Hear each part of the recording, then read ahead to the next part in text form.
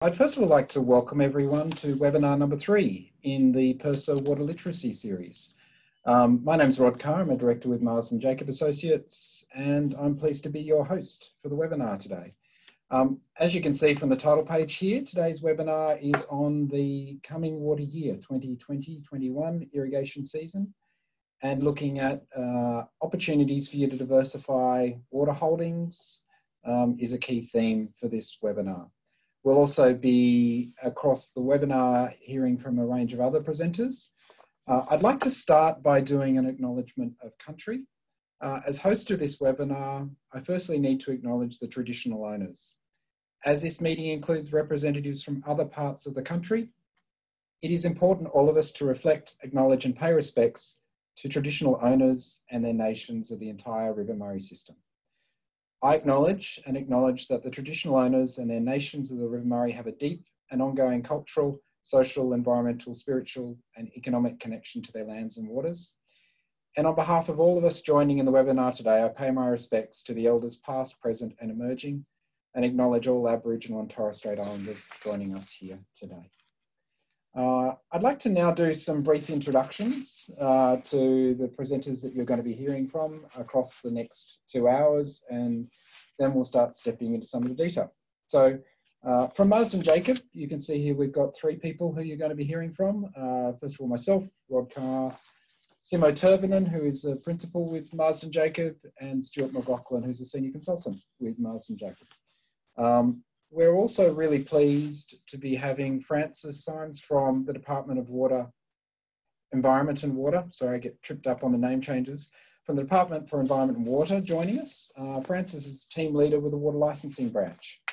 And we've also got Megan Taylor, who's the Water and Administration Manager with Renmark Irrigation Trust, who will be joining us today as well. Uh, I'd also like to just uh, express our thanks to the team at PIRSA who provided a lot of assistance in the preparation of the content and a lot of guidance and advice in putting this together. Uh, in particular to Rachel Kelly, Program Manager of the River Murray Sustainability, and to Tasha McGregor, Support Recovery Facilitator. This webinar is being recorded, and so to have the previous two webinars. Uh, when the webinar is up online, uh, you as a participant will receive an email saying it's now available. So if you want to uh, rewatch it, if there's anything you want to have a think about as part of it and have another look at it, um, please feel free. If you've got someone who you know was unable to attend today, but you think might be interested, please let them know. Um, and if you're interested in having a look at the previous two webinars, then jump onto the PIRSA website and you'll be able to see that there. Um, there will be opportunities and we really hope that you do make the most of this to, to ask questions. Um, you'll be able to see uh, a Q&A tab on your uh, control panel in Zoom and we basically ask you to, to jump in there and ask questions.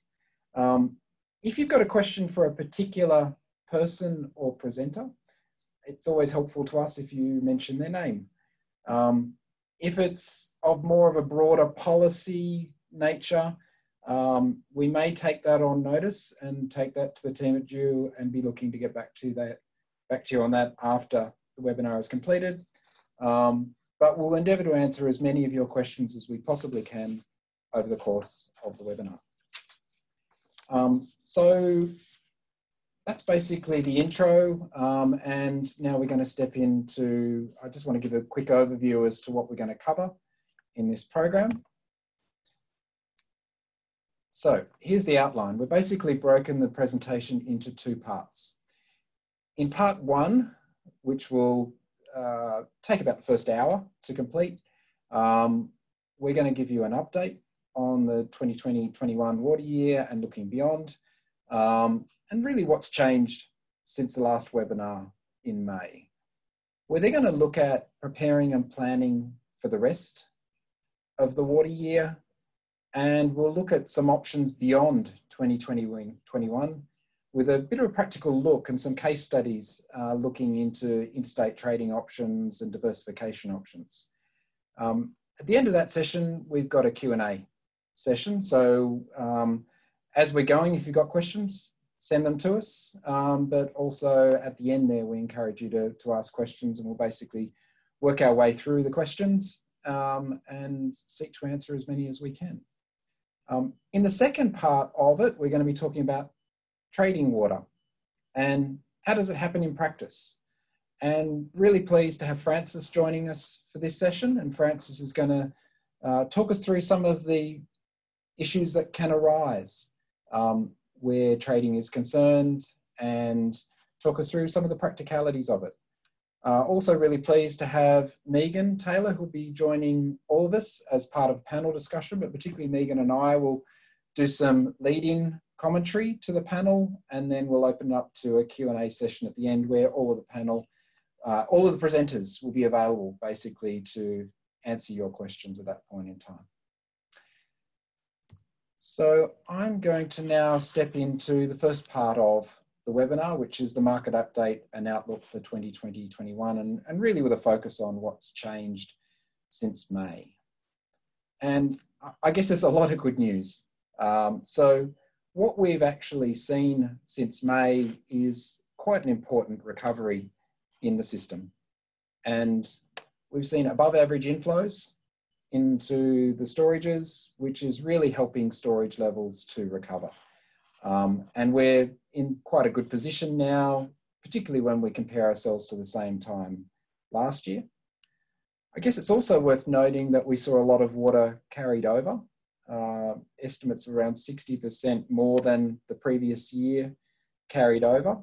There's been some supplementary access to water in New South Wales, and we've seen some limited demand and some trading occurring. Prices have come down quite significantly. Um, and that's the good news uh, for mine as well, that this supply demand relationship uh, often leads to this reaction in the market. We've got an improved supply. We've also got uh, an improved outlook. So the BOM forecast is indicating a wetter winter and spring period uh, which is basically introducing a degree of positive sentiment into the market. Uh, you'll also see there's been a little bit of an uptick in prices since they uh, reached their lowest point over the last couple of weeks.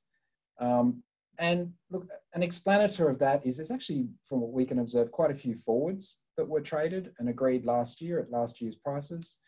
And they're contributing to some of this uptick um, in prices in the market. But overall, we're seeing prices significantly below where they were at the same time last year. The allocation outlook in May. Uh, this is what we were talking about based on the outlook in February. And we could see a fair degree of risk that under a dry condition, we're looking at a level that would be below 1920 um, and well below the 10 year average. How's it looking now? Excuse me. Um, the outlook has improved and really quite significantly. So this is the allocation outlook now, and we can see that we're now got dry sitting above the 1920 water year outcome and under average inflow conditions, we're actually getting very close to the 10 year average. So it's a much more positive outlook than what we had at this time last year, and even uh, in back in in May when we did this last webinar. So look, that's that's a really pleasing development um, from our perspective because it means there's more water in the market, um, and it's led to softening of prices, which presents new opportunities for people to access water out of the market. So all set for the season ahead. And I'm going to now hand over the baton to Stuart McLaughlin, uh, who's coming online now, um, to talk us through all set for the season ahead. Over to you, Stuart. Thanks, Rod. Uh, hi, everyone. Uh, thank you for joining us today for the third workshop um, as part of uh, Water Market Literacy Program. Uh, as Rod said, my name is Stuart McLaughlin. Um, and yes, even though my little profile picture looks a lot different now with my COVID haircut. Uh, for the first part, for the rest of part one, uh, we have quite a bit to cover in 35 minutes, so I'm sure we get through it all Um, these slides, as Rod said, will be provided in a recording will be provided at the end for you to review. Um, I'm going to start with a few considerations for the start of the season, carryover and account management. Uh, and this will follow with a look at uh, interstate leases and entitlement purchases and some things you should be um, thinking about when looking at these products. Um, and a brief example, we've got some um, case studies uh, and a brief example of the cost of these two products. So carryover, it's a, it's a bit of a, a, a tricky, a tricky thing to get your head around. Um, so, you know, did, did you carry over any water for your uh, South Australian entitlement? So as Rod said, the SA class three allocations now 70%, 77%, and outlooks, uh, the allocation outlooks indicating that it's probably going to reach uh, 100% allocation by around October. And what this means is that the water you've carried over will not be available for use uh, in the 2020-21 water season. Um, the volume um, above 100% will effectively go into your rollover account. And we've got a little graphic here showing that. So the maximum carryover is 20% of your entitlement. So we've got 77 now. The, the 20%, it will go over, once it gets to 100%, it will go uh, in, 20% will go into a rollover account. And if allocation is again triggered in the following year, so next year in 2021, with, with the April announcement, this announcement is less than 50%, then the rollover volume can be credited to your water account in the following water year if the allocation is less than 80%. So as we can see here in the, uh, um, in the graph, we've got start of season two, got a 50% allocation announcement in April. Then in year, uh, in water year two, um, if the allocation is less than 80%, and this is sometimes usually around September, this, this call is made when, when there's a good indication that the um, allocation for that water year is not going to get to 100%. Um, then the rollover, the rollover water, it's important to note, it's not actually available for use and it's not tradable until it's converted back into a carryover allocation onto your uh, water account. Uh, next, Rod. Okay, so carryover and parking, a couple of other considerations. So you parked water interstate, um, a few things to think about for going into this season. Uh, have you already returned the water to your South Australian account? Um, what were the contract details? Um, if you parked it, you know, the date of return, when will it happen? Um, you know, some considerations for uh, interstate um, parking is, you know, particularly for Victorian entitlements, that would be the risk of spill. Um, is there a risk that you may not get your water returned? you know, the current uh, Victorian Murray system, the risk of spill is uh, 60%. Um, and the other thing to think about is, is trade restrictions. We can see a little snapshot here of the our water flow platform in the market overview section, um, particularly for South Australian irrigators. The Barmah Choke's closed, um, Goulburn to Murray IVT limits closed, as well as the Murrumbidgee uh, IVT trade out um, is also closed. So those three things need to be um, considered as well as the spill risk uh, when you're returning your um, interstate parked water uh, for this year. Next. Um, water account management. So two particular things for South Australian irrigators is it's important not to exceed your site use limit or overuse as penalties will apply. So your site use, the combined volume of announced allocation, carryover, uh, parked water, forward water, bought temporary water, you know, this may exceed your site use limit. But it's important to note that it's not as an issue as long as you don't use more than your site use limit. It's there's no penalty if the water is just sitting on your account ready to use. It's only if you use it. Um, and overuse. So River Murray, South Australian River Murray uh, water users must also ensure that they have not used more water than is available on their account by the end of each quarter. Um, uh, penalty uh, for excess water use will apply if you'd used more water than the volume of water available on your account. Um, at the close of this, the first quarter, which is 30th of September 2020. And if we look here, we can see some of the rates uh, penalty rates for exceeding site use limit can be uh, up to $740 per megalitre, in kilolitres there. Um, and these are the, the, the, these are the penalty rates for from Q4 um, in the last water year. And my understanding is that the uh, rates for Q1 this year should be gazetted um, around mid-August. Next.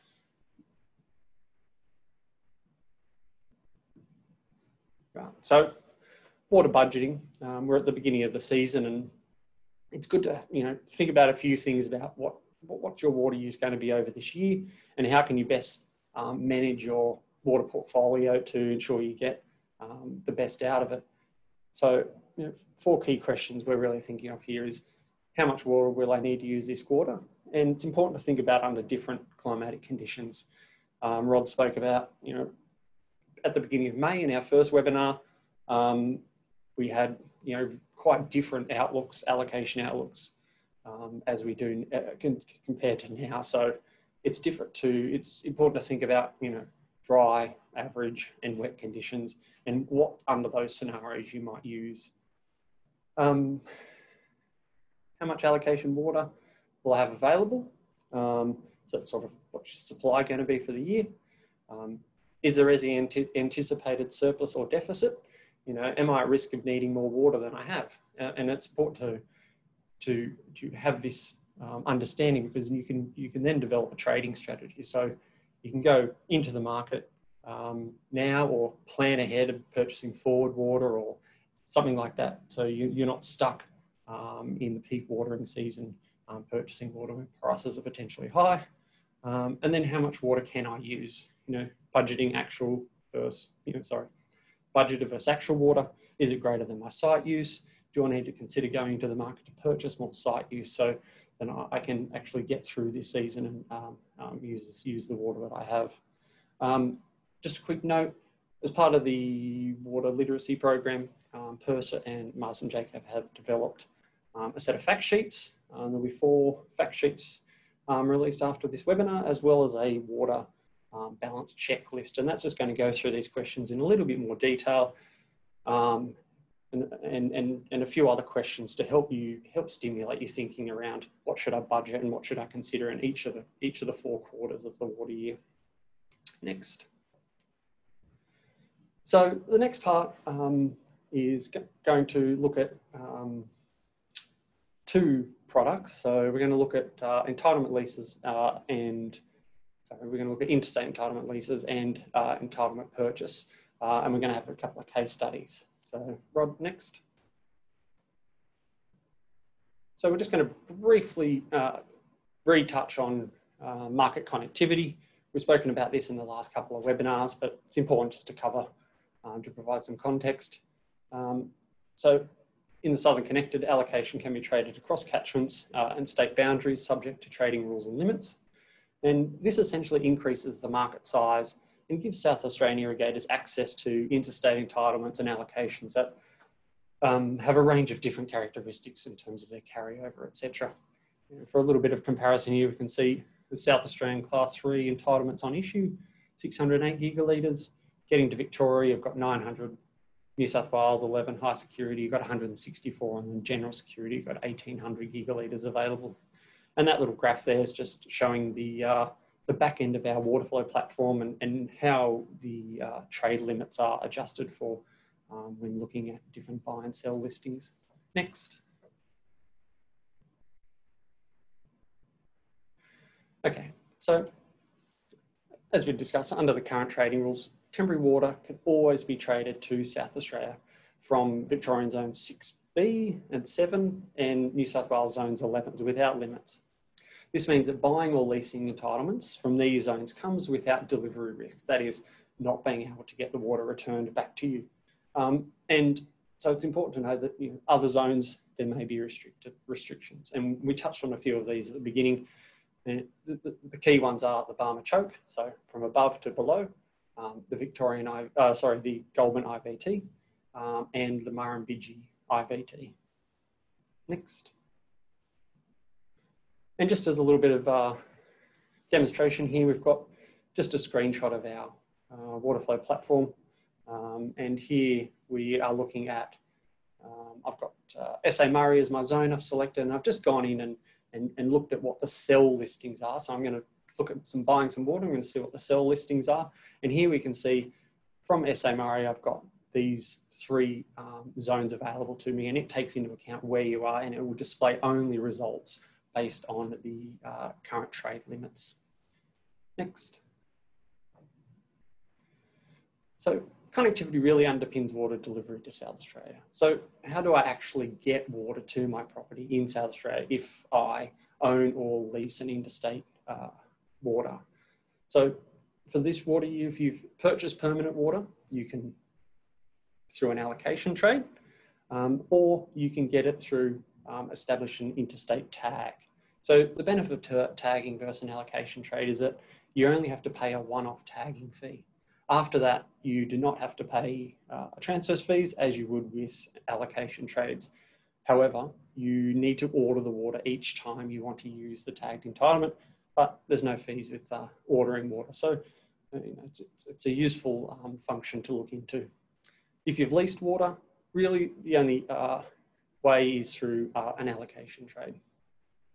And obviously you can lease water, you can lease, uh, not just interstate, but you can lease uh, an SA entitlement as well. In that case, water will be credited to your account automatically.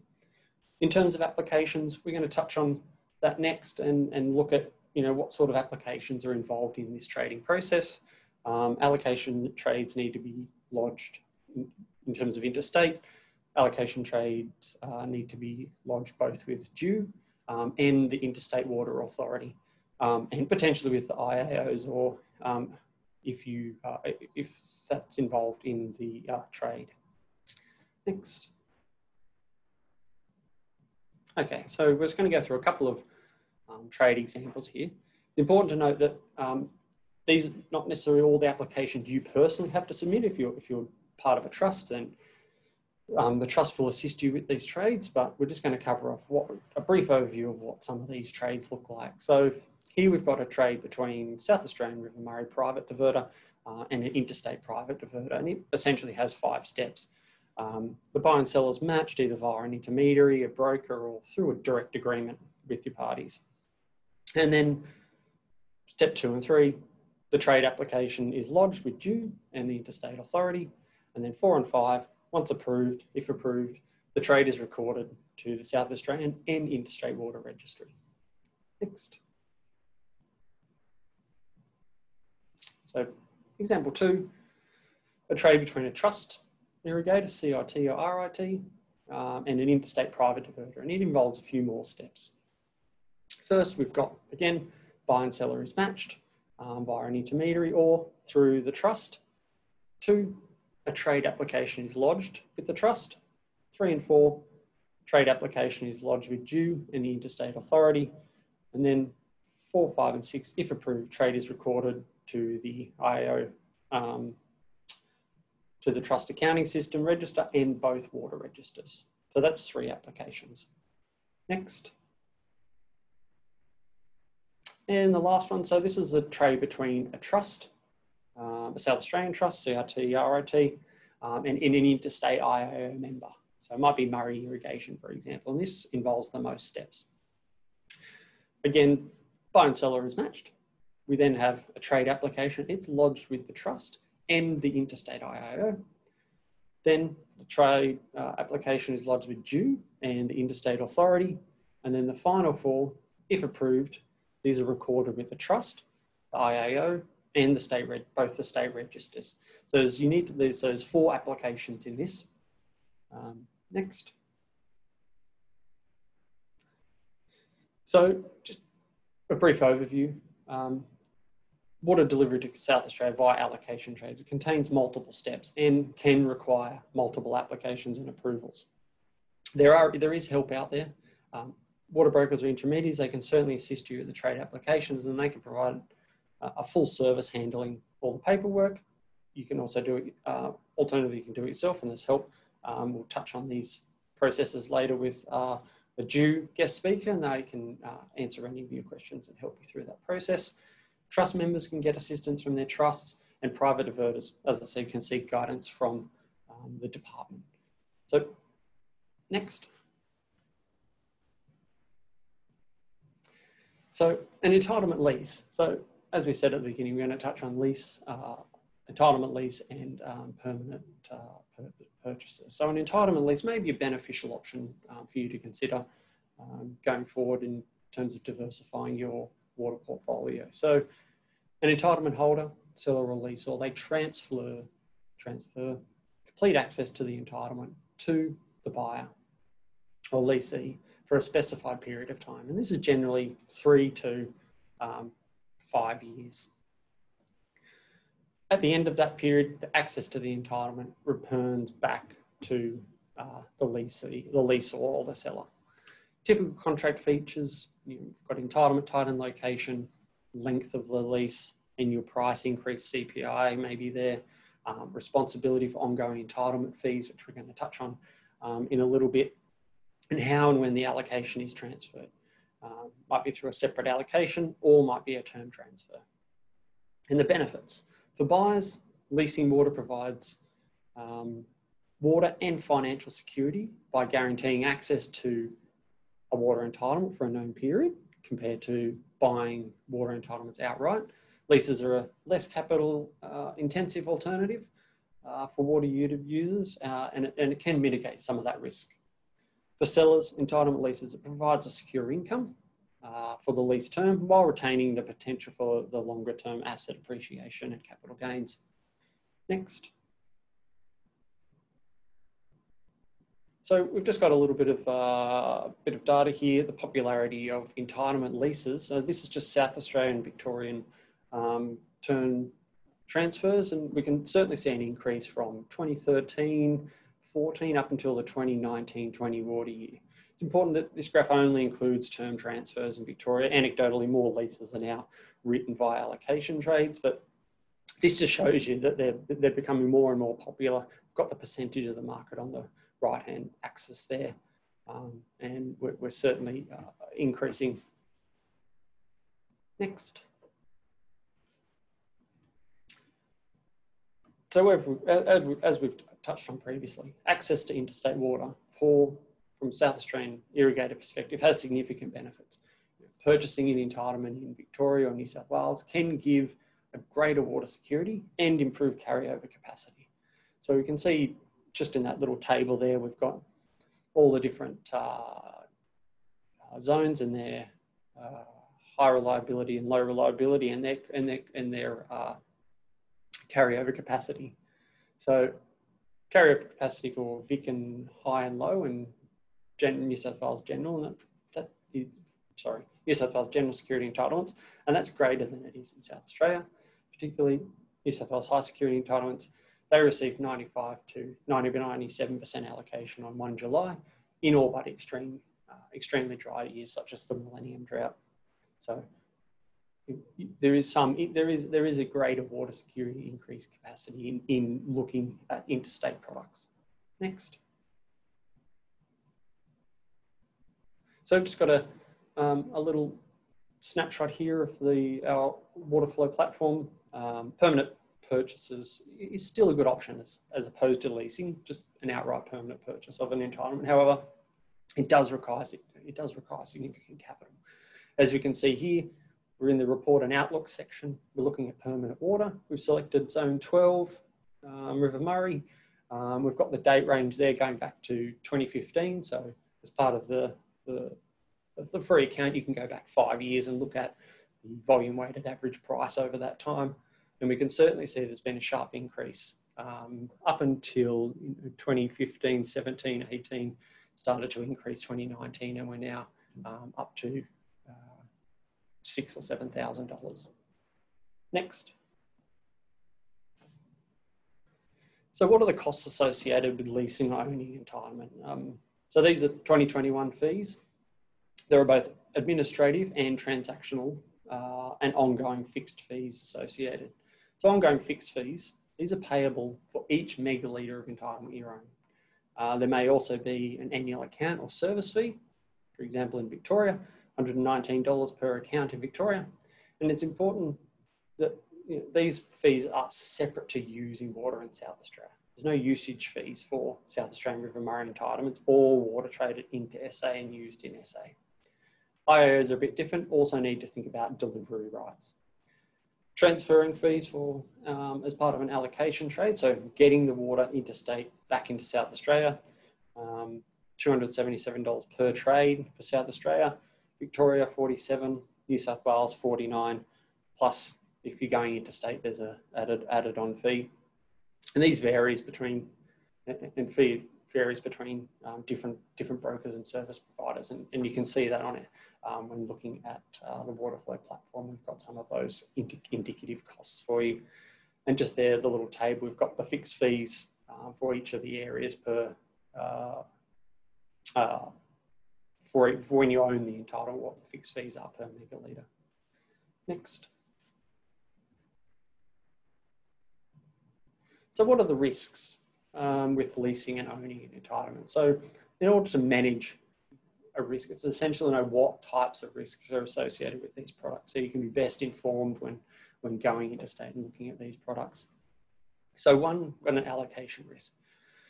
Will the entitlement yield sufficient allocation for your requirements? Um, and that's really important. Delivery risk, trade limits, if it's in a particular area above the choke, um, Murrumbidgee or Goulburn, uh, you need to be aware of those different IVTs. So when you call any water, you can actually get it. For Victorian uh, and less so New South Wales, you've got a, a, spill risk. So this can be partly mitigated by smart use of carryover capacity. Um, ensure that it's carried over in those zones where you don't have uh, any trade limits and a price risk, always present in some shape or form, but depends on the frame of mind. For example, buying perm water at $7,000 per megalitre, and then temp stays at $50 for five years in a row, it's something that needs to be weighed up. Next. So looking at the, these different uh, uh, products and, and their risks, you, know, can see allocation risk, they both have, they're both in permanent entitlement trade and an entitlement lease, they've both got allocation risk. Delivery risk, they've both got that. Acquiring entitlements, they may be subject to um, many trade limits, can be spill risk uh, in Victoria. Price risk, more so in the entitlement lease. If leases can lock in the price, but the price risk is associated with paying more than the eventual spot market price. So we're going to touch on an example later. You, you, you, you've rented an, in, you, you know, you've leased an entitlement and the allocation for that maybe only 50% and the, the um, sort of the, the levelized cost of that entitlement and that allocation may be more than what the current temporary market, but we'll go through that example. Um, risk bearer, one's on for permanent entitlement trade, that's on the buyer, entitlement lease, uses a bit of hybrid, and counterparty risk. The counterparty risk could eventuate to the buyer in a situation where sort of the bank refuses to discharge an encumbrance or a mortgage. So there's some things to think about um, when you've got an impermanent, a permanent entitlement trade. Next. So a couple of case studies, we've just got two here. Um, we also had a couple of case studies in the last uh, webinar, so make sure you check out those as well. Um, next. So case study one, we've got a grower looking to diversify their water portfolio. And again, we're going to stay on um, entitlement leases and, and permanent um, the theme is uh, going to be a permanent entitlement and leases. And so entitlement prices, although they're softening, outright ownership still requires uh, alternative, uh, still requires capital. So is an entitlement lease uh, a good alternative? And the key here is you need to factor in trade limits, getting your allocation water delivered to your SA account, especially in consideration with you know, Goulburn above the choke and Murrumbidgee entitlements. Allocation yield. How much allocation are the entitlements likely to yield year on year? In leases can be three to five years, so you can be um, you can have that entitlement for quite some time. New South Wales high security entitlements, for example, have historically provided good allocation um, in all but the extreme uh, water, extreme uh, dry years. Carryover capacity, New South Wales high security, well, the one can't carry over, but the others have varying uh, carryover capacity that um, are better than you know, the South Australian uh, entitlement. Uh, fees and charges, as we've touched on, there is a range of fees and charges for not only holding, but trading those, trading and allocation um, from a, a, lease or a permanent purchase to your South Australian account. Next. So entitlement leases, they give access to entitlement characteristics without the capital costs. And some considerations apply, um, as with the entitlement purchase. Um, and we've just touched on a range of those, the deliverability, um, how much entitlement you're going to receive. And leases are generally three or more years. So considerations what the alternative is, is the average water price. So considering what the average water price is going to be over that time. And we'll look at some of those figures in the next slide. So here we go. We've got some calculation examples, and these are just indicative. So lease prices late last year were around $350 a megalitre for Zone 7, high reliability in Victoria, and about $500 per megalitre for Zone 11, high security in New South Wales. And this is for a three to five year lease term. Example one. So you've leased 100 megalitres of Zone 7. Assume this year's allocation is 48% dry scenario you will receive 48, you will have 48 megalitres available. You've paid for the full 100 megalitres, i.e. 350 times 100 megalitres, that's 35,000.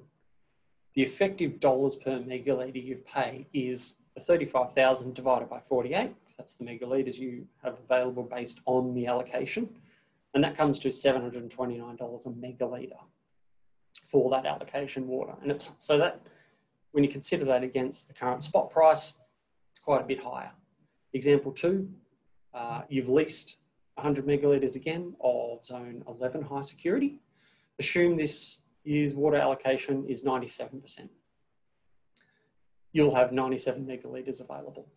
You've paid for the full 100, i.e. $500 a megalitre times 150,000. The effective dollars per megalitre you've paid is 50,000 divided by the 97 megalitres, and that's $515 a megalitre. Still quite a bit higher than the current spot price now, but if you consider the spot price um, during the peak around December, January last year, up to $800 in some cases. For reference, we've got here the Murray-Darling below the choke, the VWAP, so the volume weighted average price, since 2010 has been $181 a megalitre.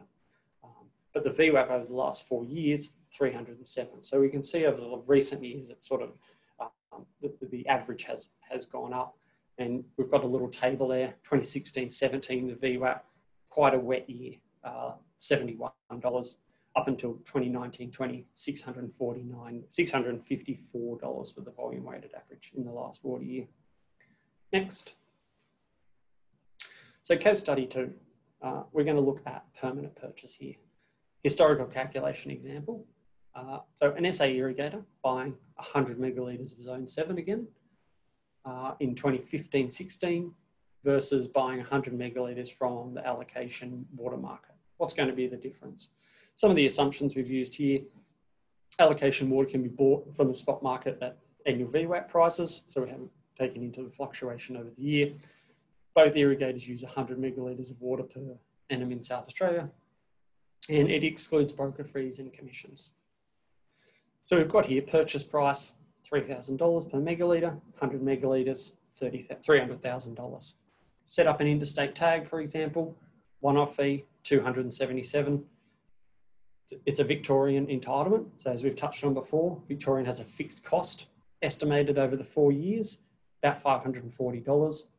So 2019-20 temp price, we're looking at about $22,000. So in total, over the for buying the permanent, you're looking at about $323,000 in the total cost. And if you consider having holding that entitlement from 2015-16 up until now, um, prices you know, are around uh, $6,500. So we can, we can consider a net capital gain there on that uh, entitlement uh, of around $350,000. And we can see here, irrigator B down the bottom there, if you consider just instead of buying the permanent entitlement, you're just buying allocation water. Uh, over that time, total cost about $131,000. Next. So a bit of conclusion here. We've touched on those two case studies. We've looked at entitlement leases. We've looked at permanent purchase. Now, divine interstate, uh, diversifying water holdings with interstate water can provide uh, significant uh, benefits to SA irrigators. Um, it provides opportunities to access entitlements with a range of different characteristics from improved carryover capacity and allocation or allocation uh, yield. However, these things need to be considered. The cost of the products, purchase price, purchase cost, and ongoing fees. Which one's right for you? Which one fits fits your uh, water portfolio? Deliverability. Can you securely get that water to your SA account, or are there trade limits that are impeding on this? Entitlement characteristics, such as the allocation yield, the carryover capacity, or if it's a Victorian risk of spill. Need to do your own research, and there's a lot of good information out there, and the fact sheets will help you with the, um, the, that uh, with that research uh, and the analysis in relation to what's the best fit for you and your requirements, and also the broader availability outlook. Is there a shift towards a wetter pattern? We saw 2016 quite a wet year, tending towards the 2019 quite a dry you know, it's three years, we've seen quite a big change in, in the price from the $71 VWAP to $600. So those things need to be considered and it's good information out there. And, as, and, and so, as I've touched on, it is pivotal to access reliable and inf independent uh, information to support your decision making. So, and as part of these workshops, we've got the fact sheets and the water balance checklist um, which will go through some of these questions to help you uh, think about some of these considerations. Next. So I'm going to pass back to Rod. Uh, we're going to move on to part two. So before we do do it, there's been a couple of questions um, that have come through thus far, and I'm just sort of jumping into the chat and um, making sure we pick those up at this point in time. Um, I think Simo is also here for some questions. So Simo, you should also be online and feel free to unmute at this stage as well. Maybe we'll direct this first one to you, Simo, as well. So there's a question that's come in saying if carryover water um, was not available in the second year, what happens to it after that? Yeah, so basically, uh, if uh, uh in year two, uh, uh the SA carryover is is not available, i.e., the the early April announcement uh, for minimum allocations is greater than 50%. Yes, it will mean that the rollover water will not be available that year. So basically, you won't get access to the water you carried over uh, uh, from year one to year two. Uh, and yeah, there was a, there was a follow up question: Where does this water go? Is it socialized to South Australian accounts? in a way, yes. So that, that water, it's not lost entirely, albeit you will lose direct access to it, yes. But uh, my understanding is that that water, the rollover water, will it will contribute to future carryover ability, as these rollover volumes will still be underpinned by the deferred water South Australia is holding in the shared uh, Murray storages. Uh, obviously, there are separate account management rules uh, for that deferred water, uh, as they can hold for for private private carryover. But uh, my understanding is that, that water still continues to contribute to the future carryover ability.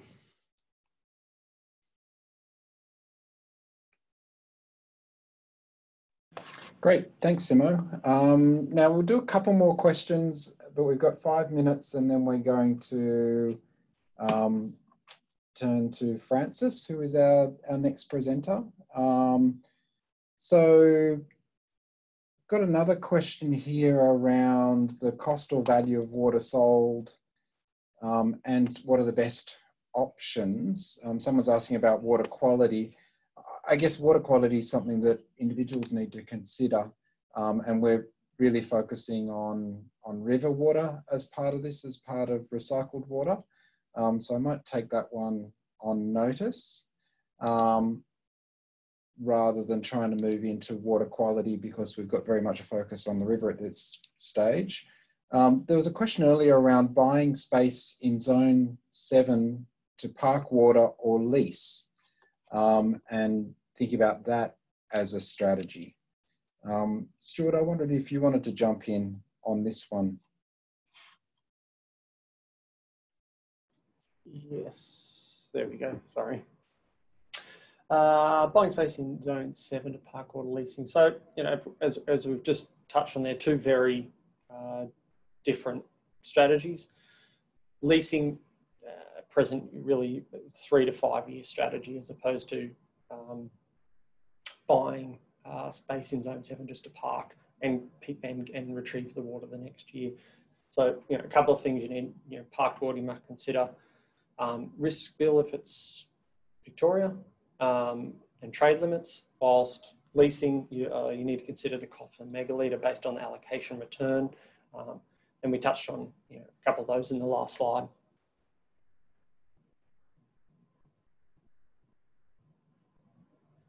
There's another one here which is saying, can you determine if you're paying too much for water? Um, Sim, I wonder if you jump in on that one.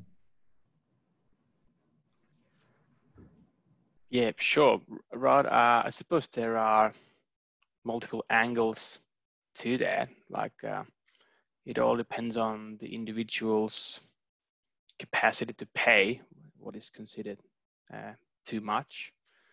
Uh, and obviously that comes down to uh, if you're an irrigator, the crop you're growing and, and the margins um, you have for your operations. So obviously if, if you know, uh, the average cost of water per megaliter uh, exceeds your your net margins on, on an ongoing basis, obviously then the conclusion would be that you're paying too much for your water.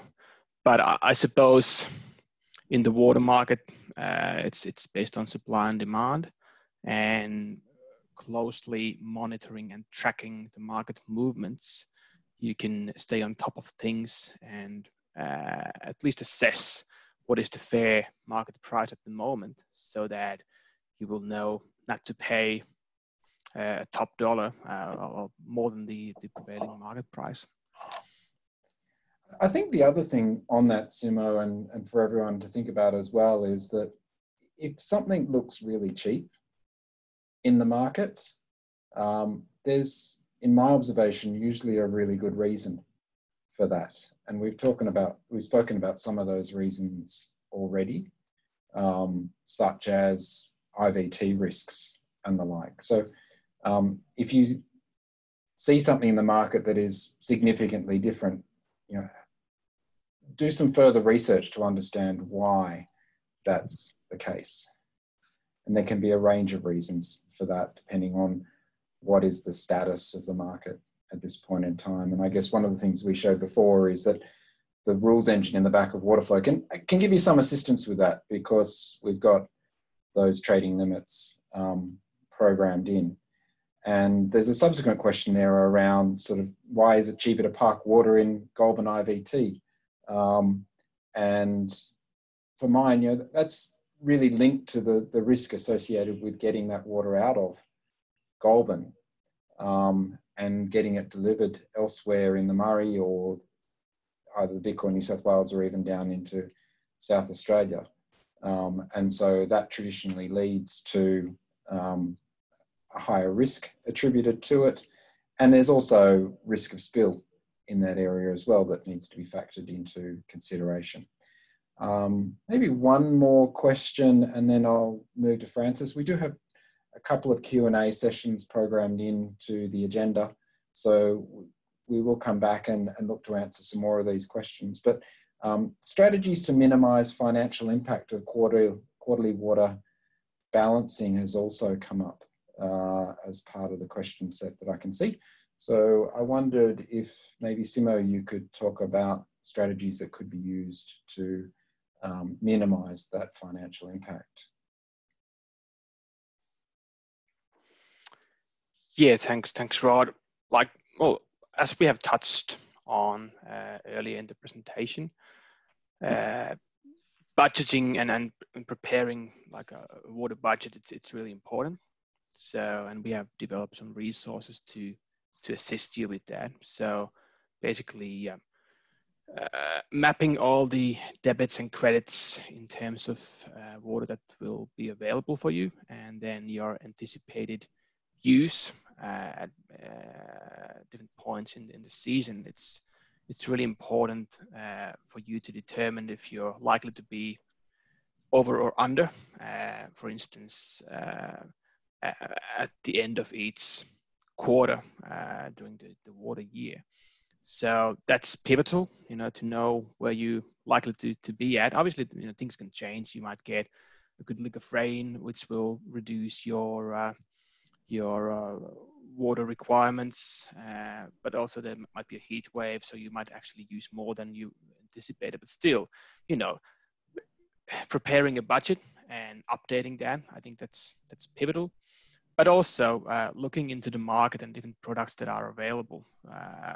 You know, it, it can reduce your risk uh, of paying peak prices significantly. So looking at where the market is going uh, and also the, the alternatives as we flagged here, you know, if not, you know, permanent purchase or, or entitlement lease, but also forwards uh, and, you know, uh, and also carrier parking to, to maximize your, the available water you, you might have uh, within the water season. So looking into doing a research, looking into different products, what they can offer to you, what is the cost per megaliter for for different products, and yeah, it's just uh, hedging your bets really. You know, uh, the team of, of this webinar is diversifying. So, which in a broad sense means that uh, just um, widen your horizons, just look into different options, and and then uh, you're in a better position to make an informed decision and, and manage that risk.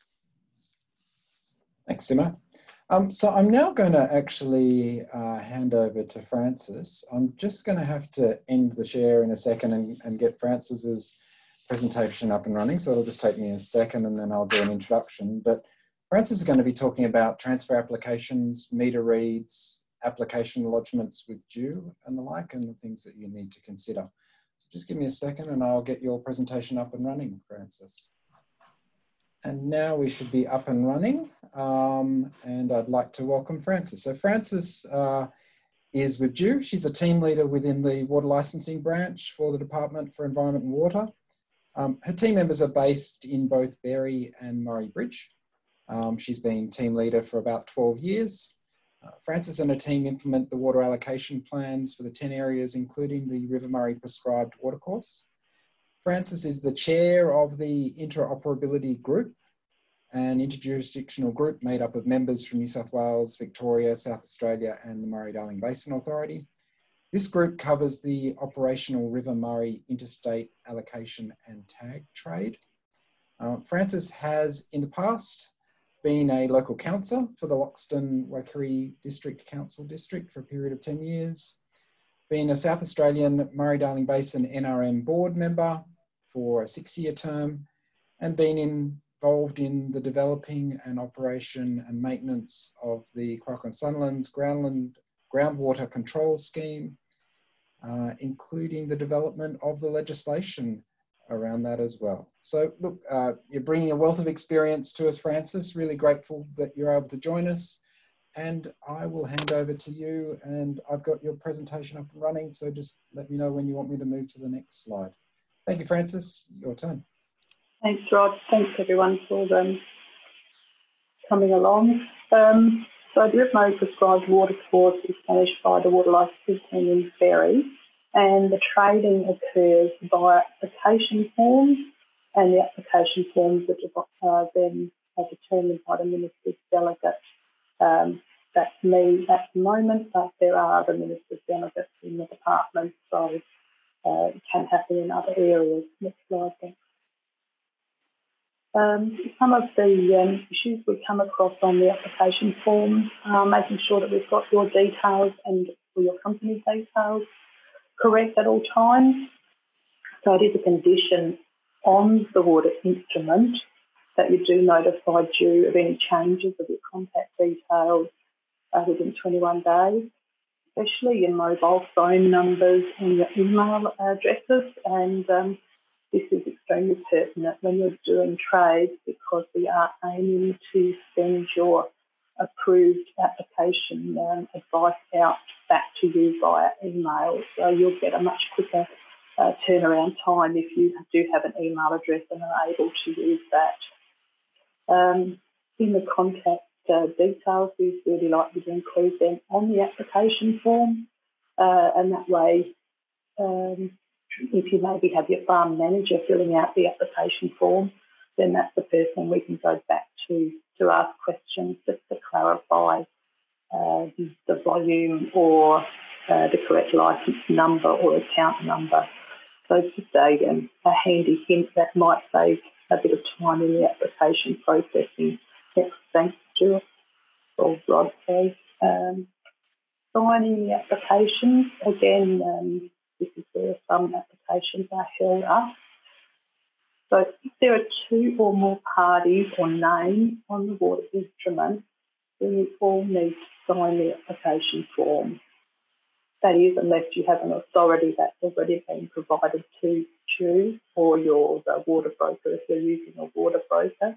But remember, two or more parties' names also would have to be on signed on the authority, and that is then matched up with what's in the water licensing system, so the application can proceed. The same with a um, your name water instrument in the name of company. Again, you need two signatories, either two company directors or company secretary or director. And if you have a sole directorship, you really need to let us know that you're the sole director so that we don't then uh, go back to you and ask for the second person to to sign. Uh, quite often customers get a bit annoyed if we do that and uh, we're actually there to help, not not annoy you. So if we get the right information in the first place, should save everyone a bit of uh, time and less headache. Uh, next slide, please. So on the application form, if you are the seller of the allocation, whether it's permanent entitlement or an allocation, we will need a current meter read from you and that, that's entered into the water licensing system to make sure you do have enough water to trade. And again, that um, quickens the process. If you actually put it on the application in the first place, we've got it ready to go and we won't have to come back to you. Uh, I've also just noted for your information that uh, quarterly and annual meter reads are to be taken in the first 14 calendar days of the appropriate months that are listed there and supplied to the department. Um, and just to note that non-supply of a meter read may result in an expiation notice being issued to you and the current fine of uh, of that $1,000 was um, less than that last year, but we have new legislation, so it's $1,000 plus the victims of crime uh, which is around $60. So it's quite a hefty uh, impost if you don't supply a meter read. And there are quite a lot of options to provide your meter read, um, either online, phoning in, or emailing. And if you have any problems, just um, give us a call and we'll we'll help you through that. But uh, really important with your lodging an application that we do get that current meter read. Thank you. Next slide. Just touch on interstate applications. So Stuart touched on a little bit of this already, which was excellent. But just remember, South Australia works in kilolitres. All the other states in Australia work in megalitres. So when you're filling in South Australia's paperwork, you need to remember to put it down in kilolitres. Or if you write megalitres, you might get a phone call just to clarify. But um, we do match it up with the interstate paperwork as well. The trade is only to one decimal, so you can't have 18,999 kilolitres. It needs to be 18,000 kilolitres or 1.8 megalitres if that's how you're thinking. If you use a duplicate interstate reference number, the application will be refused. We have a system um, that um, talks to the other states. Uh, that is called interoperability. And if the number has already been used, the, the, the system cannot match. So always make sure you have an unused and unused reference numbers. Don't use a duplicate. If the trade, unfortunately for you, is refused, you will be advised of the reason. And Stuart already touched on the, the reason it could be that the Barmah Choke IBT is um, closed so that the trade doesn't come through. And you really must remember to lodge your paperwork in both states. Sometimes customers lodge in South Australia uh, and they forget to lodge in either New South Wales or Victoria. And then they're ringing up each, each state and saying, Where's my trade? You haven't done it yet. So, just a handy hint to do that. If you use a water broker, they will do that for you. But if you're doing it yourself, just remember it's two lots of paperwork and fees. Next slide, thank you. Trade and quarterly accounting. So quarterly accounting was introduced at the beginning of last year and to ensure that your trade is considered in each quarter, uh, you really need to make sure you lodge your application before five o'clock on the last day of the relevant quarter. So if you want the trade to be relevant for quarter one, you need to submit it by 5 pm on the 30th of September, and then it will be included into the calculation of balancing that order account. We might not have it completed uh, in the system, but as long as we have got it in the very office and we've stamped it that it's been received at relevant time, the calculation will be including that volume of water that you wanted to trade. Next slide, thank you.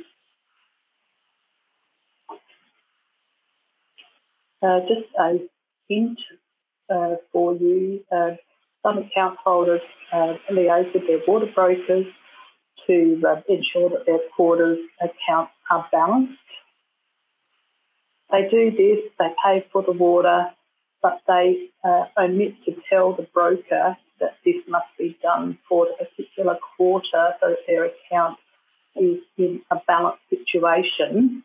Um, so if it's not lodged by your broker, then again, you'll end up being in penalty. So just let your broker know if it's needed for the balancing of that particular water account uh, period, and then I'm sure they'll work with you and get it lodged in the in the time frame. The quarterly accounting being a new introduction um, just takes a while for some people to get used to. So we'll again work with you where we can to help you through those those minor issues that come up. Next slide, thank you. The peak period for for the year, I've touched on the quarterly counting already. There will be a message displayed on the Environment and Water Connect website. So this is just a heads up for the end of the year. So guaranteed uh, processing and determining of your application will occur if the trade is lodged uh, by the 18th of June 2021. If you lodge it after that time, we will, do, we will endeavour to do our best to ensure your application is uh, determined, but we're not going to guarantee that it will be determined. So just try to be um, a bit smarter with your planning to make sure you get all the information through. And there is a slight um, issue with interstate lodging. Um, again, try and get it in by the, the 18th of June. But if you're still lodging applications and you happen to lodge it on the last working day of the month, 30th of June, last working day of the year, we can't uh, get it into the system to get it matched with the interstate um, area if the application is not actually processed in the system by 11 o'clock on the 30th of June. Uh, it's out of our control. The, um, the trade areas um, close their water registers down and you know, if that happens, then your application is going to be refused and you'll need to uh, have hopefully a second option uh, up your sleeve. Uh, thank you. Next slide. The main current requirement for um, applications at the moment is making sure you have the value of the trade recorded on the application fee. This is mandatory, but if the value is zero, then at the moment you're required to put a reason down. So it could be the reason is it's a related party um, or same business, and that's a perfectly reasonable uh, reason. But we do have a future requirement, and um, that's to, to um, make sure that the reason of all trades is reported on application forms. Uh, again, it could be a related party trade, could be standard commercial, could be allocation trade as part of a share transfer. There will be a, a list that's been developed across all of the states so that it's a standard list because there's a lot of people that deal with all uh, interstate uh, states. So just be aware that that is coming your way, and we'll be dealing with with that in the fullness of time. Uh, the other current, sorry, future requirement or opportunity for you that is heading your way is South Australia is developing a new water uh, licensing system, and there'll be an opportunity when that's developed for you to have a lot more control over your accounts. Um, probably be up and running um, for next water year, but it's something that you can look forward to because you'll be able to um, have a user password and go in and actually view your accounts without having to ring us up and, and have a look at that. So that's quite exciting news for you all. And next slide, thanks.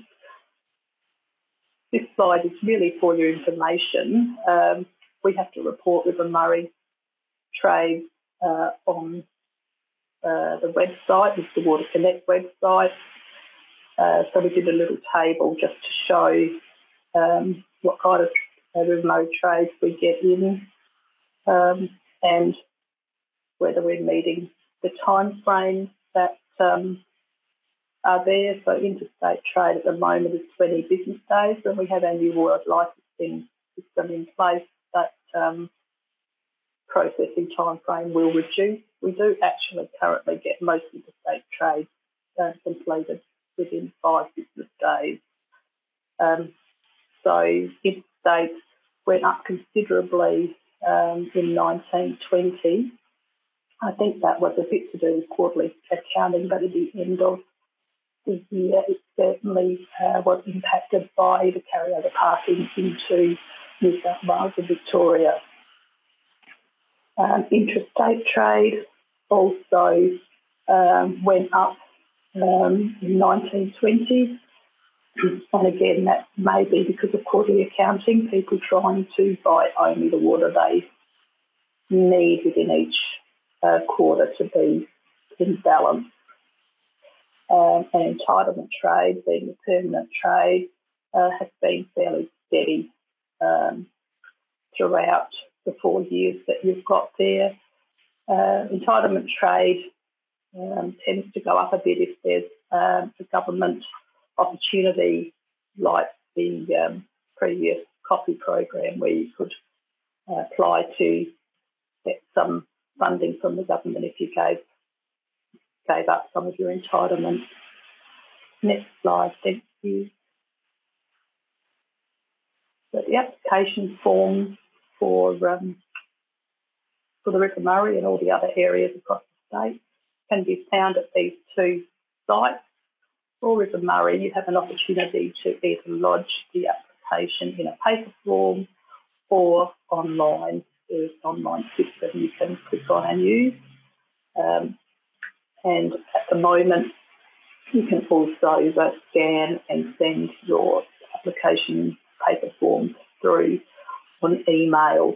Um, and that's helping a lot of people out. The water licensing team is there to help you, so please don't hesitate to to contact them. Uh, if you're doing your own applications and you just want them to be checked before you send them in, you're welcome to send them in to the web address, uh, sorry, the email address that's uh, on the screen, and someone can check that, get back to you, and tell you if you need to add any more information. And last slide, thank you.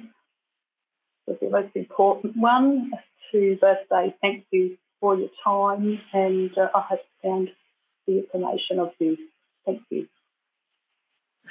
So Francis, maybe stay online. That was really, really helpful and really interesting. And I think there's some really important messages for everyone in that, um, particularly around ensuring you're doing things in a timely way um, and lodging things in a timely way so that you can get the outcome you're seeking. Um, and I think a number of the dates that you've put in there are, are really helpful reminders to everyone around dates and times when things need to be done by. Um, so thank you for, for putting that together. There is um, one question for you. Uh, someone has asked or said, hi Francis, wouldn't it be a good idea for South Australia to conform with the other states and use megalitres instead of kilolitres? I don't know if there's anything you can say or comment on on that side of things because I, I, most people seem to be able to navigate it, but it can be a source of some confusion. Yeah, look, it's in the legislation at the moment, so that's why we use that. Uh, my staff are um, very adept at helping through people through that, and if people make a mistake, uh, they just need to give us a, a call and we'll work with them. But um, yes, it is, it is looked at, and I'm sure it will probably be part of the next review of the Landscape Act, which uh, will involve water, but I'm not sure that's uh, a year or two away. So fingers crossed that might happen into the future. Now, I can't see any more questions on there. So obviously you've been very clear in your presentation. So very well done. And thank you so much.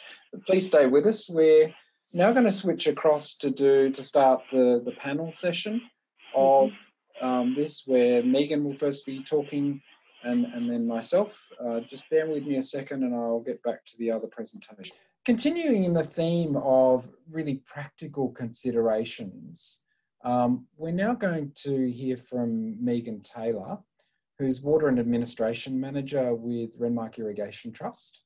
Um, Megan's responsible for the Trust's business management team, has extensive experience in water licence compliance and water trading, together with all aspects of administration. Uh, Megan joined the Trust in 2006 and was appointed Water and Administration Manager in July 2017. And Megan, I understand you're going to particularly focus on some of the considerations from the temp market perspective uh, when someone is operating within a trust or within the Renmark Irrigation Trust. So I'd like to welcome you now, Megan. Maybe if you could uh, unmute and turn your video on um, and I'll hand over to you to start with. Hi, uh, thanks for that, Rod.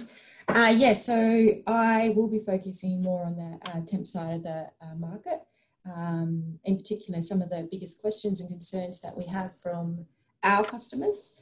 Um, so we have a diverse range of uh, customers, so we get a diverse range of uh, questions. Um, however, in particular, the most common one, of course, is um, around the market, about the price of water, uh, where the market's going, um, if it's going to go up or down, when's the best time to um, buy or sell. Um, so we get so many of those questions from our customer because so many of our customers uh, rely just on the spot market, which is one of the disadvantages um, in that.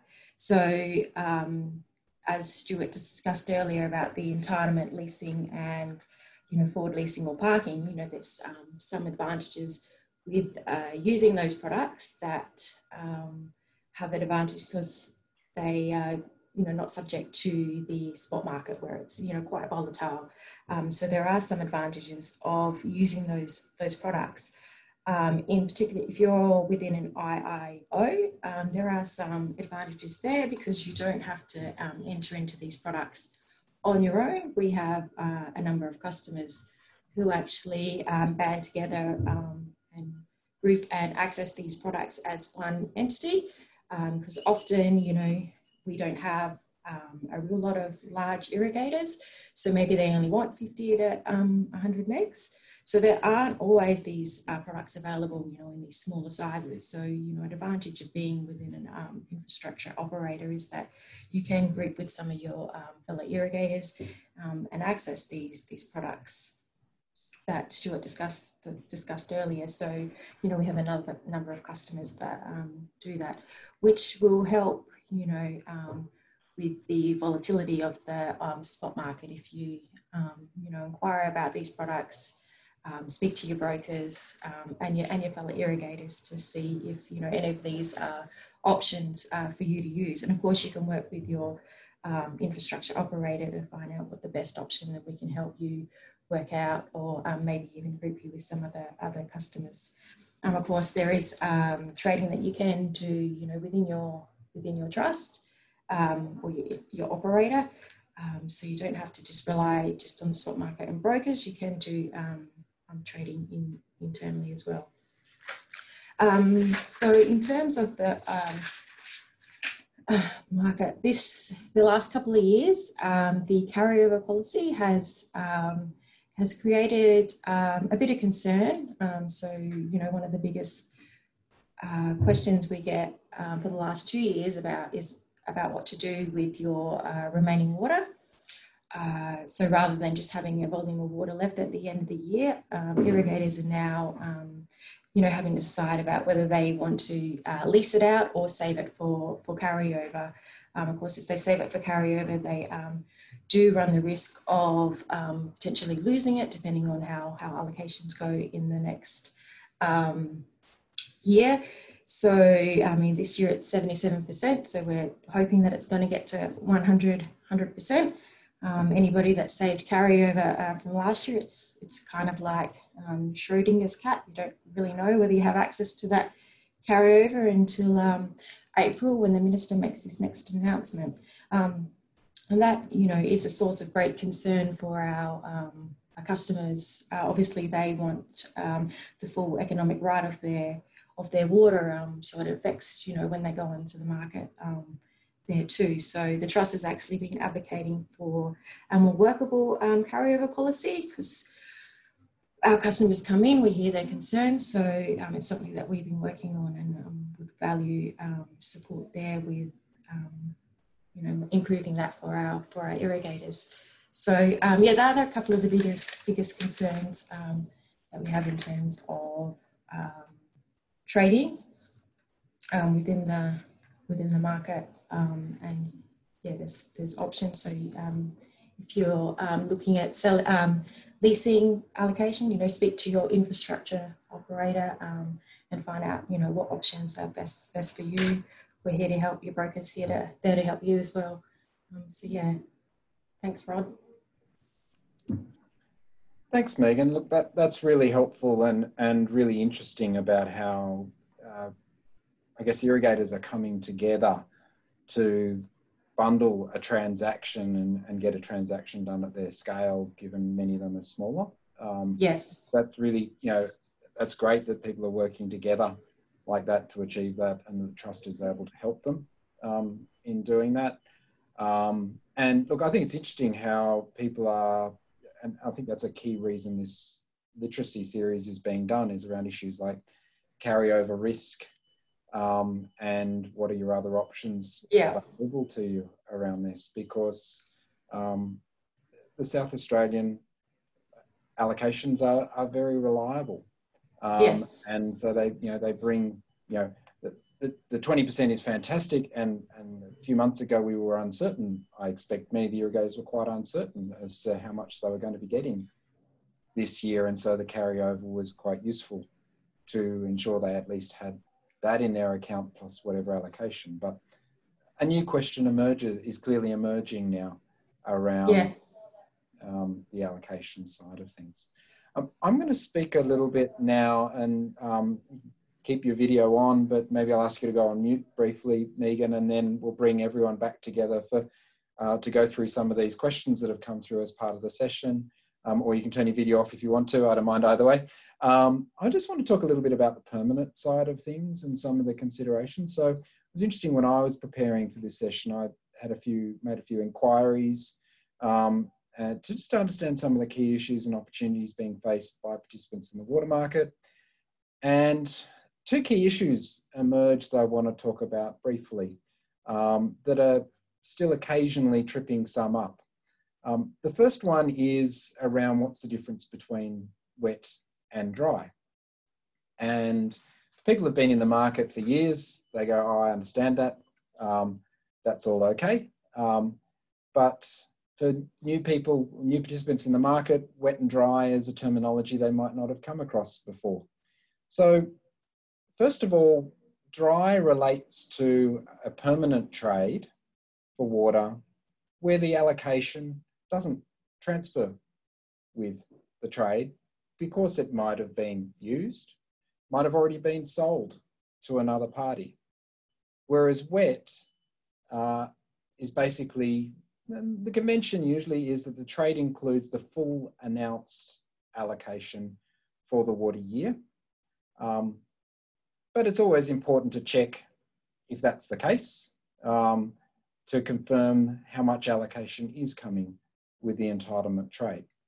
Um, so why is this important? Well, wet trades are generally and understandably more expensive than dry trades and the differential in the price is often reflected in what you can see in the temporary market in terms of their prices um, because they come with the value of that allocation attached. Obviously, if there's you make a transaction, you purchase permanent water, you get the next allocation announcements on it, come what may. But if you've already got the announced allocation, that value is coming to you as well. Um, and if you as a buyer want all the water this season, this can become this can be really important to you. Um, because if it's a dry trade, then you're obviously got to be looking at what could be announced in terms of uh, allocation going forward that water year. But it may also mean that you need to step into the temporary market uh, to access some more water. The second issue that emerged was around delivery shares and delivery rights. And Megan, you probably will have some insights into this as well, I expect. But um, first of all, what is a delivery right or a share? Now, I acknowledge that this is particularly an issue uh, in the context of irrigation infrastructure operators, such as CIT, Central Irrigation Trust, or Renmark Irrigation Trust. But a delivery, water delivery right or water delivery share, um, both terms tend to be used, uh, represents an irrigator's share in the capacity of a trust's pumping and pipeline infrastructure. Um, and these delivery rights are a key component of the unbundling of water rights and designed really to provide flexibility for irrigators to manage them separately from their irrigation rights. Um, water delivery shares are issued by the irrigation infrastructure operator on a volume or megalitre basis. They're allocated to an owner of an irrigation outlet associated with a defined parcel of land.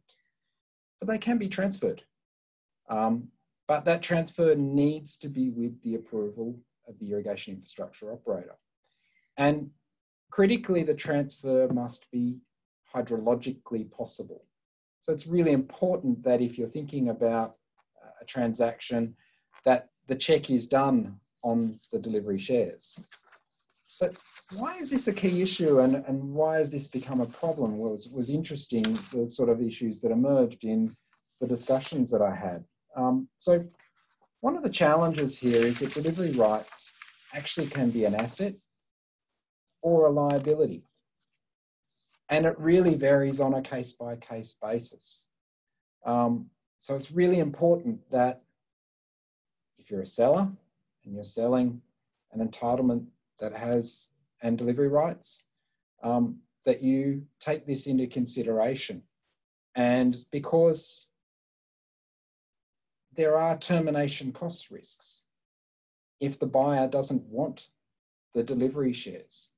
Um, and this can reflect a significant transactional cost. And there were some examples that people pointed to where the seller hadn't realized that they actually had a cost um, with this and they hadn't really done the checks on this side of things.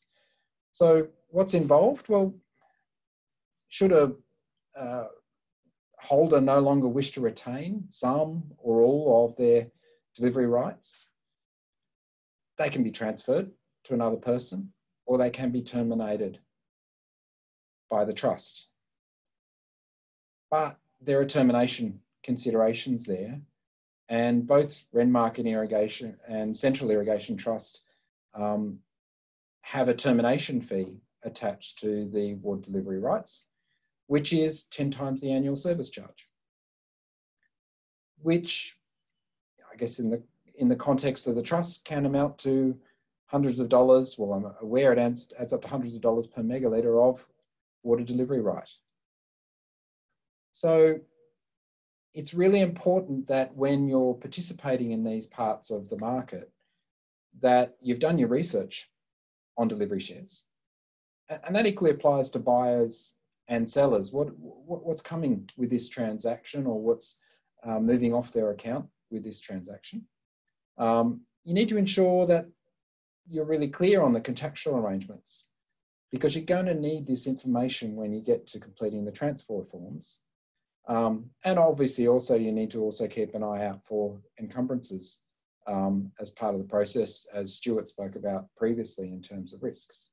Um, but it has emerged uh, and it was interesting that it did emerge in some of the, the questions that I was asking people across um, South Australia as, as a recurring issue where one or other party, either the buyer or the seller, um, has periodically got a bit of a surprise in this area around water delivery rights and um, whether the contract was clear or silent on these issues um, is is a really important consideration. Megan, if I can turn to you on delivery rights, you spoke particularly about temporary market considerations, but I wondered if you have any comments on, on the permanent side of things as well, and whether you witness these sorts of uh, issues in your role with Renmark Irrigation Trust. And you're on, I'll get you to unmute and turn your screen back on. that's okay, Megan. Sorry, Rod. Yeah. Uh, yeah, so within our um, trust, we don't have a real lot of issues in terms of um, delivery rights, in particular terminating the delivery rights. Um, it is it is quite kept quite quite low. Um, most of our um, members uh, do do try and come in and see us before they they um, sell their water um, in entitlements, so that they um, are aware of the of the rules. Um, you know, and then there's you know once they sell their entitlement, there's still ongoing delivery right charges that still that still occur. Um, yeah. Well, that's really pleasing. That's a good outcome for, for, for your trust. It's obviously some of what I was hearing must be in the context of others. So, but look, it's just a reminder to all to really talk to the trust if you're looking to do this sort of transaction. Now, we're looking to move to a bit of a broader um, Q&A discussion now, and I, I note there is a, fair list of questions that have been captured as part of the process. Um, and um, I'm now suggesting that we bring back some of the other speakers. So um, Francis and Stuart, if you also want to come back in, um, I think we can start working through some of these questions. And Simo, you've joined us as well. Fantastic. Great. Sorry. Um, so looking through some of the questions, I might just um, throw some questions to different um, people uh, across those that have come in thus far. And maybe I'll start with one for you, Megan, if that's okay. Um, yep. Come in and said, what's the difference in trading within an IIO as compared to working with a broker? So I presume the question is around how does it differ between them working with you guys or with a broker? Yeah. I mean, the obviously uh, obvious difference is that when you um, go through your um, IIO, um, trade through them, then there isn't a broker. Um, so you deal direct direct with um, with your op- operator. Um, in terms of when you go through a broker, you still have to deal with your infrastructure operator um, so rather, your broker will deal with your um, your operator. So it's um, whatever um, terms and conditions your infrastructure operator have will still be applicable whether you go through an infrastructure operate your operator or whether you go through a broker. Um, the main difference will be that your dealings with going through a broker will be through the broker um, and then they will deal direct with the operator because obviously your operator is still involved because the water still needs to come off of your account. Um, your operator will be the main uh, license holder. Uh, so they will still need to do that. So there, there will still be the um, involvement of the two parties there. Um, and if you just go through your infrastructure operator, you deal direct um, with them and whatever terms and conditions um, they have within terms of um, trading. There are some advantages and disadvantages of going um, through your operator um, uh, as opposed to a broker. Um, sometimes the costs can be reduced. Obviously, you won't have um, brokerage costs um, with a broker, uh, but that depends on your on your operator. They may have may have a have a charge um, for that, but it's generally um, less than what you would pay through a broker. A disadvantage, though, sometimes with your operator is that there is um, less of a market. So if you're looking to um, do a quick trade, it may not may not happen as fast as if you went through through a broker um, who has the whole whole market out there that they can um, interact with to try and buy or sell you entitlement or allocation. Um, so there are a couple of the differences. Great, so, yeah. thank you, Megan. No, that's excellent.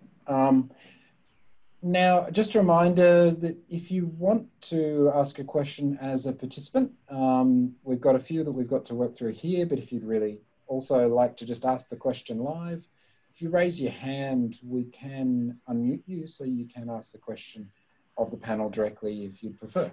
Um, I've got another question here, and I, I, think I might direct this one at you, Simo. Um, what's the range of commissions charged by brokers in relation to the volume of temporary water traded per transaction. And I'll hand that one to you, Simon. Yes, so uh, these commissions, they vary in a couple of different ways in the water market. For instance, some intermediaries, uh, they charge both sides, i.e. the buyer and the seller whereas some only uh, charge commission on one side. Typically, it's it's seller only in these cases. There's also uh, a difference in terms of whether the brokers charge a, uh, uh, a fixed dollar per megaliter fee uh, for for temp trades, or if it's a uh, uh, percentage commission of the trade value. and in the latter case, typically the commissions uh, we've witnessed in the market over the years, they've been between 0.5 to 3% of, of the trade value. Uh, typically, when, when market prices are higher, uh, the intermediaries tend to lower their commissions. Uh, for instance, last year when temporary water was trading uh, at you know, $1,000 per megaliter, charging a 3% uh, commission on that would be you know, a fair additional cost to that. So they have a bit of a uh, wiggle room there to adjust their their fees. Uh, but yeah, we encourage people to talk to uh, multiple uh, brokers to, to shop around and then perhaps get the best deal uh, that suits your requirements. But yeah, there's a fair bit of variability in these uh, commissions that the brokers charge. So it's really important that you do your homework, isn't it? Yes. As part of the exercise and, and ask that question. I'm going to take a question now, if that's okay. So someone has emailed, has messaged in and said, in relation to delivery rights, um, can we comment on the fact that in some irrigation areas, the rights have a value um, and vendors are paid for them rather than being a liability? And um, certainly can. And I think it's, it's a really important point and a really important question um, to ask because we are observing in a number of IIOs in, in certain circumstances where there is um, some form of, you know, there's a high level of water usage in that area, and so there's a hydrological constraint in that part of the system, that the delivery rights are accruing um, a value. It's not universally the case everywhere, but there are certainly circumstances where delivery rights are not a, a liability, but actually are an asset in that circumstance. Um, so it certainly can work both ways, that they can be a liability or an asset. Um, but it's really important that you're, you're aware of whether it is or isn't uh, an asset moving into the transaction so that you're your eyes wide open to that. Um, I've got a question here on what's the likelihood of the April 15 allocation forward announcement being greater than 50% based on historical inflow data. Um, really, that's a, a, crystal ball exercise, but I wondered, Simo, are you able to comment at all on that one as well? Or is that one, Stuart, you want to comment on? Yeah, I can comment on that. Yeah, as you said, Rod, it's, it's bit of a crystal ball territory. Um, but obviously there are some uh, things we can learn from the history. Like in general, uh, the access to SA carryover has been very infrequent. So it's only during the very dry years when it's flagged that uh, it uh, may be available for use, like as happened last April. Uh, I think the last time before that was uh, a few years ago. Um, 2016, 17 from memory. Uh, but yeah, like uh, it, it, depends on so many things, like uh, the um, future inflows for for this season. Uh, also, what's the uh, what are the volumes shared between the three states in the shared MDBA storages, uh, the SA's entitlement flow, you know, stuff like that. So really hard to predict. but yeah, historically speaking, um, yeah, access to SA carryover uh, has only been uh, made available during very dry years. Thanks, Simo. Um, maybe a question for you, Stuart, now. So um, someone's picked up from this, obviously, that there is risks associated with carryover.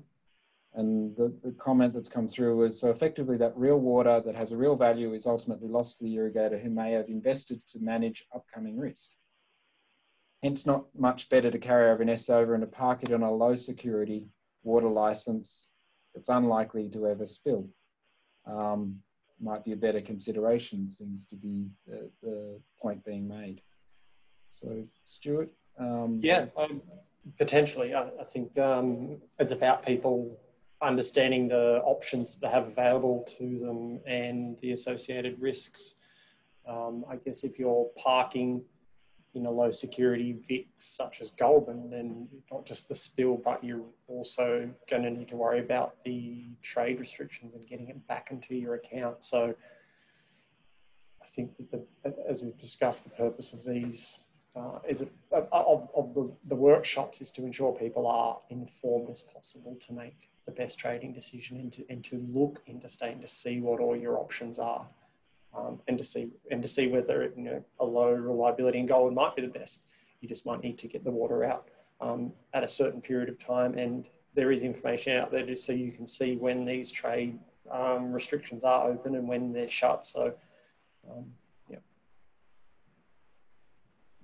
While you've got the floor, Stuart, um, and look, I, yeah, it's it's around finding the right opportunity and being really mindful of the risks that present, isn't it? Um. There's a question in here around what's the best place to find information on water trading, which is a pretty open and broad question, but I think it's you know it's a good one to, to think about the various places that um, someone who's thinking about doing trading could actually where, where are some of the key sources they might want to turn to to to inform themselves and what are some of the products that are out there? Definitely. Um, well I'd start with the PIRSA uh, water market literacy program that we're currently doing. We've done two webinars and workshops before that um, are up and available and we've covered um, water market fundamentals and we've covered secondary um, different secondary products um, such as parking and carryover and our leases. Um, and so that would be my first stop um, certainly DEW has a range of information and, and also the trusts um, have a range of fact sheets on there. Um, as indicated, we not, not immediately, but um, in the coming week, the, the fact sheets uh, for these webinars will be um, available. Um, and also uh, Marsden Jacob's Waterflow, which we gave a presentation uh, and, and, a demonstration in the first um, webinar and a video is available as part of this work, um, PIRSA workshop uh, that'll take you through and show you, you know, all the, the current prices, the trading, um, the connectivity, um, and that's a, another really good resource. Thanks, Stuart. Um, I'm actually going to address this next question, if I can, to you and also to Francis, because there's a couple of considerations in this. Um, so it's around parking water interstate. And the question is, when's the best time to park water? What are the costs involved? And, and I guess, um, Stuart, if you wanted to jump in, I'd you know, be interested uh, your thoughts on when's the best time to be thinking about parking water. Is now a good time or not? But uh, I think the other consideration is in, in doing that sort of process that we need to be very mindful, and this is, Francis, we're great opportunity to remind people of some of the timelines they need to adhere to when they're thinking about parking water um, around, um, particularly if there's an interstate consideration to it. But Stuart, did you want to go first and then maybe Francis, if you go second? Yeah, certainly. Um, I think it, it really depends on the product. I guess here we're talking about um, parking interstate and the best time to park water. And I guess the purpose of parking is to utilize the characteristics of those entitlements in the other states that have um, that enable you to, to carry over. And so that would be over the water year and having um, a certainty of an amount in the at the beginning of the next water year. So typically carryover starts to you know to become available um, around the end of quarter four in the water year. Um, we certainly saw last year a lot of carryover um, occurring up to uh, indications about 600 gigalitres was carryover in the Southern Connected. So it was a, a, very used product and at times there was no space available in some of those um, more accessible zones. Um, so the, the, yeah, Simo, if you've got any. Yeah, if I can jump in just to yeah continue on that, that's exactly right, Stuart and yeah, for parking, it's it's only really topical during the uh, second half of the year.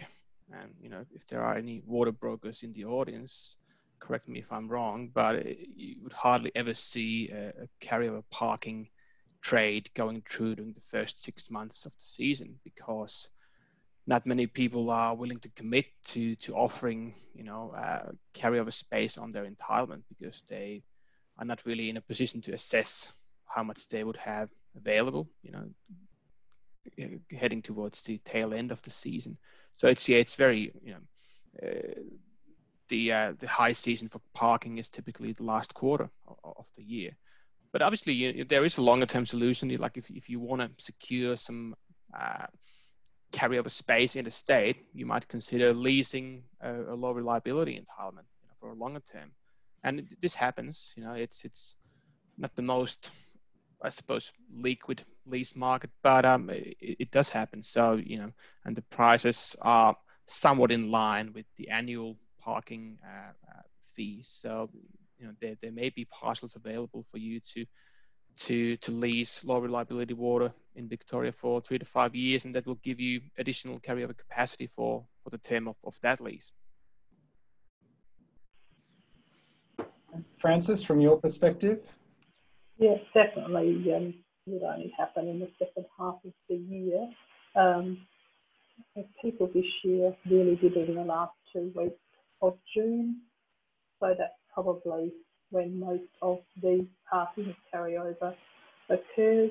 Definitely take the opportunity to remind people that they must have their trades lodged before 11 o'clock on the 30th of June.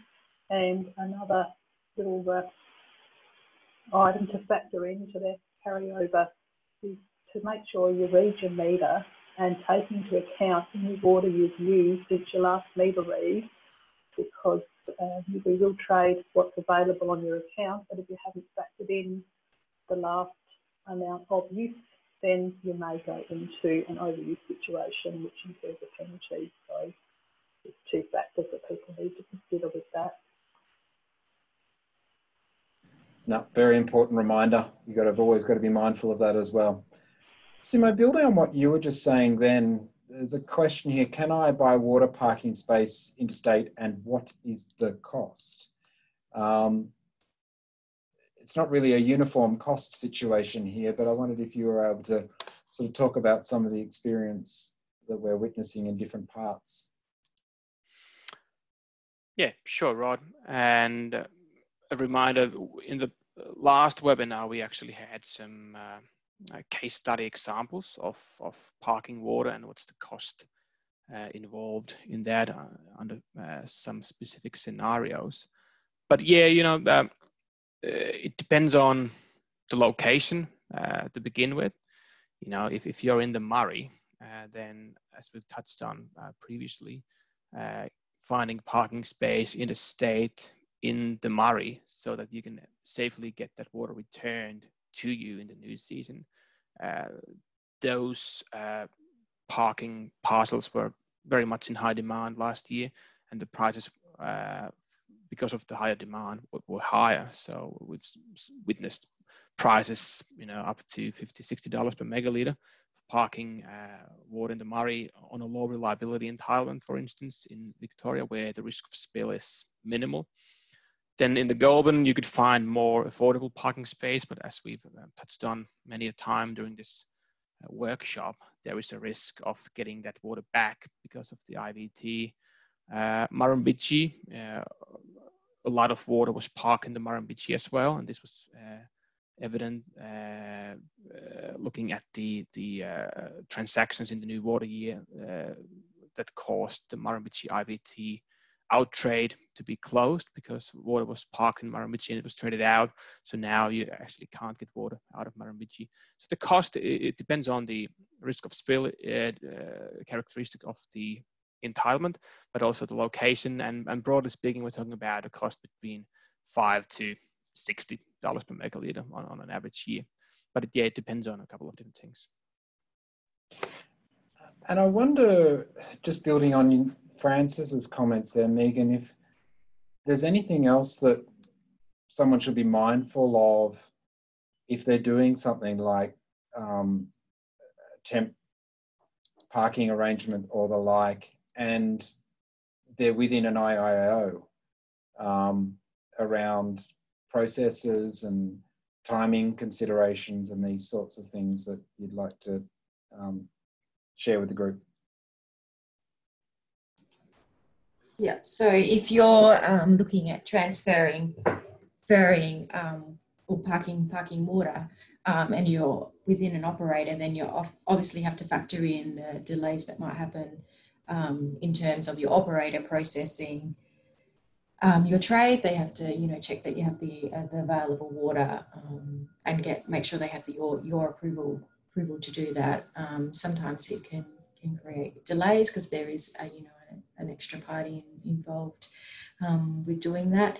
Um, it is, you know, best if you use a broker um, to do to do those types of types of trades. They uh, uh, ensure that you know it's done in a timely manner to the right to the right licenses um, through the right valleys and, and, all that. So yes, you just have to factor in the, the extra extra time. Um, so you know you don't want to leave it too late when you do these these trades um, to fit into the timelines. So early engagement with the IIO is important. Early engagement with the respective departments is important. And if you're dealing interstate, be mindful as well of the cutoffs interstate as well. And I think there's some excellent information in what you've put together, Francis, for us. But I, I, from what I'm hearing, Megan, um, a few days in advance of that at the least as well is always helpful, particularly when you're uh, going through peak transactional periods as well. And, you know, with much of this occurring in that final quarter and even the final month or months, um, there can be significant peaks uh, in the workload at that stage, which you know, everyone obviously does their absolute best to get everything done in time, but um, that there are challenges there and forms have to be submitted. Um, I think we've only got time for one more, um, and this is I guess, a, a, pretty broad question. I wonder if any of the guys in the panel want to have a chat about or want to comment on it. But um, are there, the question says, referring back to comments about outlooks, does the panel have any comment about the trade constraints currently in place and the amount of water in the Lower Murray, namely SA Vic and New South Wales through the 2020 season? Um, which is a really important and good question. I wondered, Simo, you've had a little bit of a look into this um, in recent times, as has Stuart. Do, do you want to open in terms of responding to that? Can do. Yeah, thanks, Rod.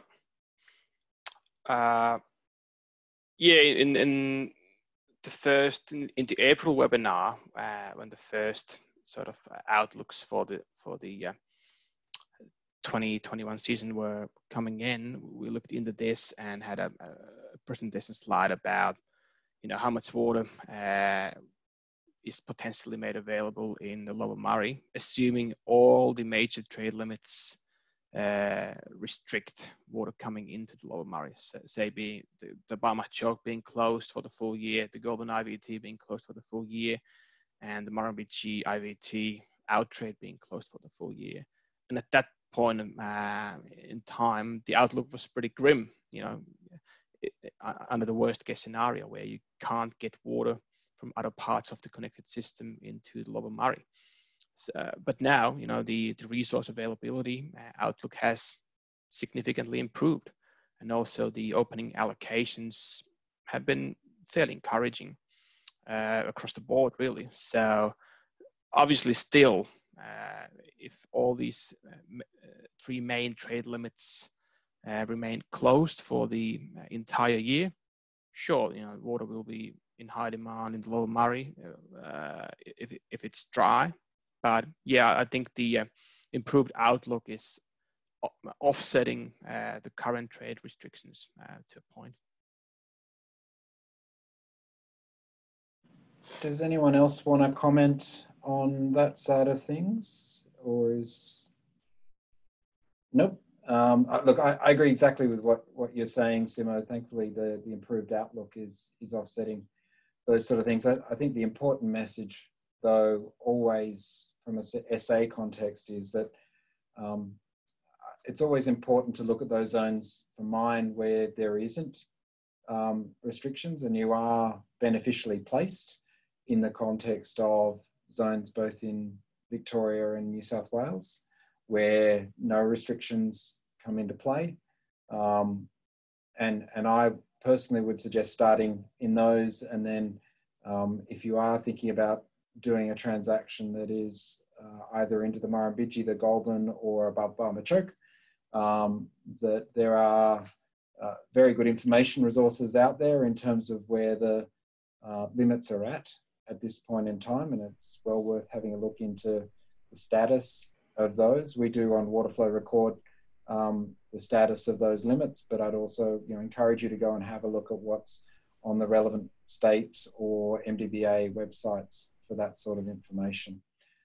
Stuart, did you want to comment further on that or should we um, bring this to a close? Uh, I think it's covered. I was, I was going to mention the MDBA and some of the reasons for moving water, you know, the underlying architecture of actually moving water from, say, using the storages in the Goulburn to transfer water out can you know, at times change those trade restrictions quite quickly. So, you know, having notifications or something set up so you can get those alerts um, and be on top of when they're available because they're usually um, pretty uh, hot property to get your trades through.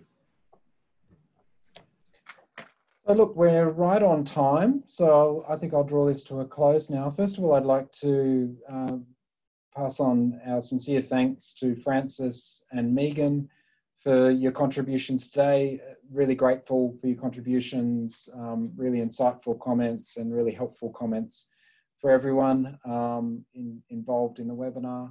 Um, I'd also like to um, thank my colleagues, Stuart, Simo and Amanda, who you can't see in the background, but who's the person who's made all of this happen technologically. She's doing an awesome job there. Um, and also thanks to the guys at PIRSA, um, Rachel and Tasha, for all the time and contribution they've made. Um, following the webinar, you'll be directed to a survey. Um, it'll only take you a couple of minutes, but it is really helpful to us in terms of getting your feedback on what the matters that we've covered today, whether there's other topics that you feel would be great to cover, um, and how the, the webinar went as a whole. Um, and with that, I'd like to wish you all a very uh, happy afternoon, and I hope you're all staying well and safe in these uncertain times. All the very best, and thank you so much for joining us today.